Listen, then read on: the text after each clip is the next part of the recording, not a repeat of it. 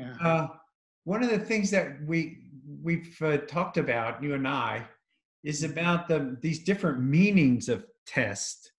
Uh, like one one that you mentioned was like a, a check, um, which is a- which is different in a way from the sort of put to the test.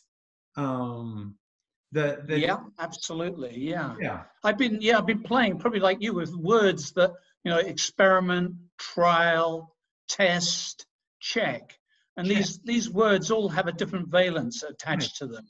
Um, and I think at one end is check. Check seems to me like you know pilots do check in the cockpit. uh-huh. Health officials. It's interestingly, I A discovered that health officials a checkup is what you do when you go to the doctor. Yeah, get a checkup. Exactly. Or that they run through a checklist now in hospitals to avoid, you know, making mistakes in surgery. They'll, they'll, they'll pause almost like a pilot and let's do a checklist. And, you know, this is the name of the patient. This is the condition they've got. We're working on the left arm rather than the right arm, whatever.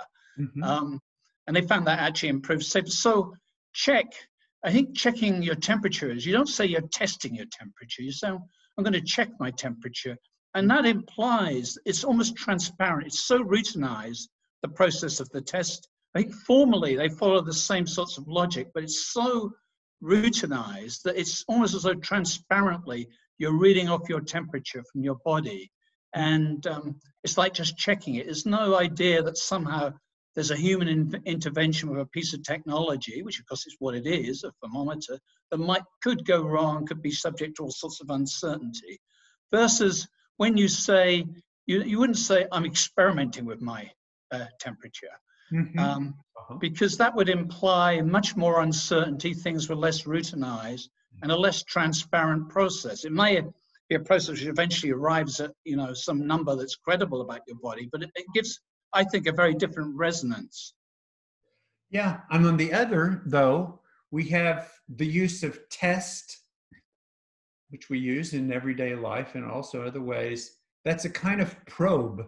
It's when one doesn't exactly the check is Hmm. there, there's a there's an expectation of what is the routine and what is expected to find. If you don't find it, then there's a problem often.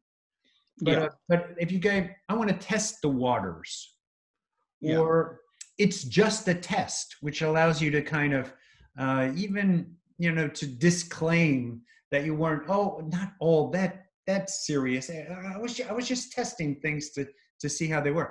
Yeah. That's, that's another valence again. Yeah. Yes, that's right. It's a much more exploratory, playful almost use of test. I'm just messing around, which scientists of course do often. They just let's, let's just try this and test Mhm. and, and mess around with it.